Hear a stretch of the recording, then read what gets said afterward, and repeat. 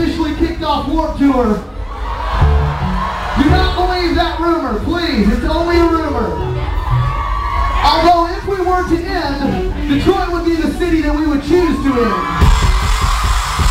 We've been here so many times, and every single time the crowd gets bigger and louder. We freaking love you guys. Thank you so much. So we just got back from the lovely state of California, and we finished album, and we're stoked to play a song from it for you guys right.